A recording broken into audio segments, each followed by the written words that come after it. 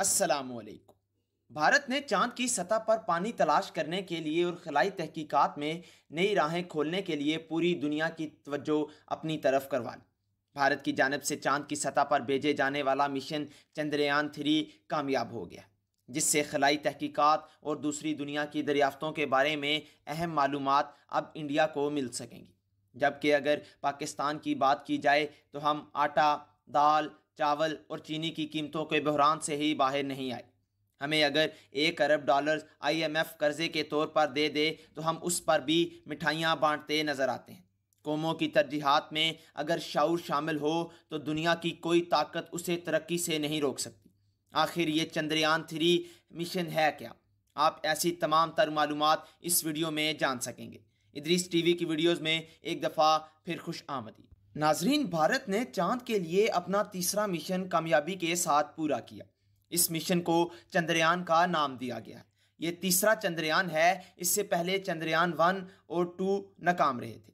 भारत का मकसद चाँद के जनूबी कुतुब की तरफ़ लैंड करना है ताकि चाँद की सतह पर पानी को तलाश किया जाए। जी हाँ ये वही जगह है जहाँ पर दुनिया के तरक्की याफ्ता ममालिक ने बार बार जाने की कोशिश की, लेकिन उनको किसी भी किस्म की कोई कामयाबी नहीं मिली।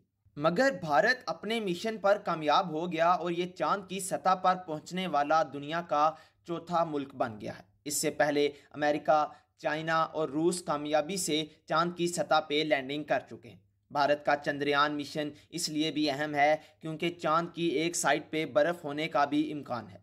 अब जो कि भारत इस मिशन में कामयाब हो गया है और भारत को एक खलाई तहकीकात में कामयाबी मिली है और अब अगर चाँद में पानी मिलता है तो मुस्तबिल में खलाई स्टेशन तमीर किया जा सकेगा, जिसमें चाँद से पानी की सप्लाई की जाएगी। भारत के चंद्रयान थ्री मिशन के लिए रॉकेट ने 14 जुलाई को मुकामी वक्त के मुताबिक दोपहर दो बजकर पैंतीस मिनट पर उड़ान भरी। मिशन की रियासत आंध्र प्रदेश में वाक़ श्री हरी स्पेस स्टेशन से रवाना किया गया और ये 23 अगस्त की रात को चाँद पर पहुँच गया था।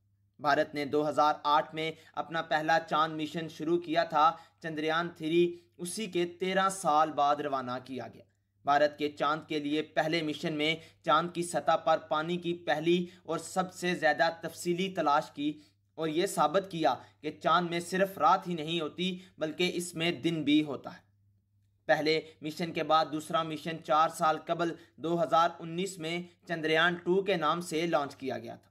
जिसमें सिर्फ़ जुजवी तौर पर कामयाब रहा, लेकिन सॉफ्ट लैंडिंग के दौरान इसका रोवर गिर कर तबाह हो गया। ऐसा इसलिए हुआ था क्योंकि आखिरी लम्हात में टेक्निकल खराबी पैदा हो गई थी। अगरीचा रोवर तबाह हो गया, लेकिन चंद्रयान टू आज भी चाँद के मैदान में मौजूद है और इसके गिर चक्कर लगा रहा है।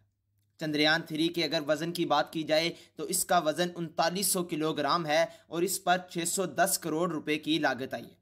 इस मिशन में तकरीबन 1500 किलोग्राम का वजनी लैंडर है, जिसे विक्रम का नाम दिया गया है। इसका नाम भारतीय खलाई तहकीकी अदारे के बानी विक्रम के नाम पर रखा गया है। जुमे के दिन जब चंद्रयान थ्री को चाँद के लिए छोड़ा गया तो 15 से 20 दिन लगे और फिर साइंसदानों ने अगले चंद हफ्तों में रॉकेट की रफ्तार को कम करना शुरू कर दिया, ताकि जो विक्रम की सॉफ्ट लैंडिंग के लिए साजगार हो।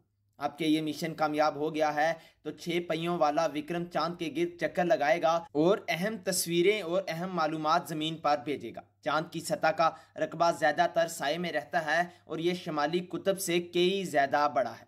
चाँद पर एक दिन ज़मीन के चौदह दिनों के बराबर होता है। पाकिस्तानी अवाम की जानब से भी चंद्रयान थ्री को इंतहाई दिलचस्पी से देखा गया और कामयाब होने पर हमारे पड़ोसी मुल्क इंडिया को मुबारकबाद भी दी गई। भारत हमारे साथ ही आज़ाद हुआ था, मगर उसकी नज़रें चाँद की उस सतह पर हैं, जहाँ आज तक कोई भी नहीं पहुँच सका। हम अगर अपनी बात करें तो हम अभी अपनी मुआशी मुश्किल से ही बाहर नहीं निकल पा रहे। कभी किसी तरक्की याफ्ता मुल्क से दो अरब डॉलर्स और कभी तीसरे से तीन अरब डॉलर कर्जे की सूरत में लेकर भी उस पर भी मिठाइयाँ बांट रहे हैं। पाकिस्तान में भी एक खलाई तहकीक का अदारा मौजूद है, जिसका नाम स्पार्को है। और ये भारतीय खलाई अदारे से उम्र में आठ साल बड़ा है। स्पार्को की बुनियाद 1961 में रखी गई थी, जबकि भारत ने 1969 में काम शुरू किया था। लेकिन अब दोनों की परफॉर्मेंस पूरी दुनिया के सामने। आखिर क्या वजह है कि स्पार्को वो काम नहीं कर पा रहा, जो हमारा हमसाया मुल्क बड़ी खूबसूरती से सर दे रहा है?